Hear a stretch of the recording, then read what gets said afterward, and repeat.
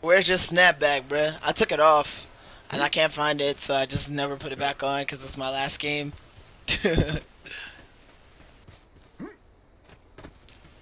I need to get a new beanie.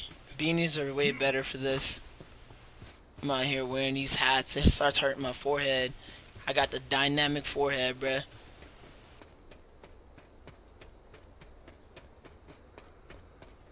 Oh!